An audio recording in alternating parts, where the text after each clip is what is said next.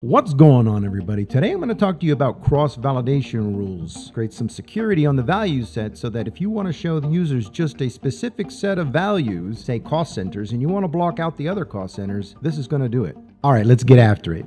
Let's go over to setup and maintenance.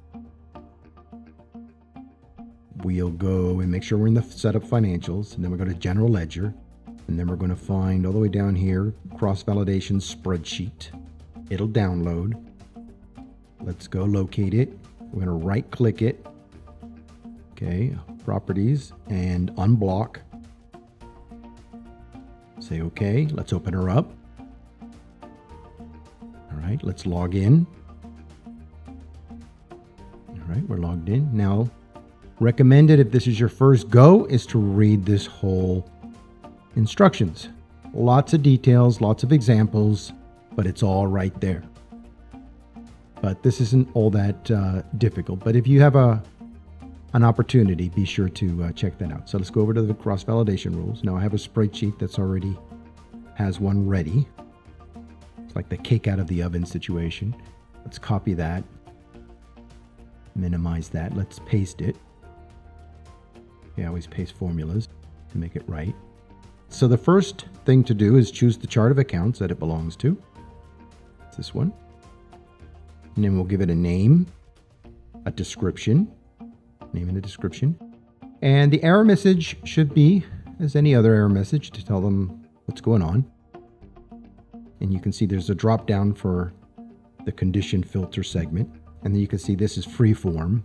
So you got to know what you're doing. Again, another drop down for the for the segments. And again, free form. In this particular case, I don't want any balance sheets that have anything other than four zero. We're going to do submit. And that's going to load it up to the applications.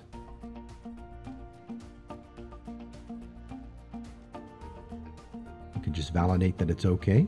Close that. Minimize that. Minimize that. Now let's go over to manage cross validation rules. Let's open them up. Now we're in the rules and we'll search for the chart of accounts and here's my rule. And notice right here, the details and then over here, the message uploaded just like that. Just like that. And now what we're going to do is going to go over to here, actions, validate, and we'll enter in one that causes it to fail. Notice I have a cost center in there that's greater than four zeros, so it tells you the message. All right, let's go upstairs now and correct it. Let's put it back to all zeros. All zeros. And then we'll validate again. And boom, pass. All good. Just make sure you're doing your journal entries with all four zeros for balance sheet accounts.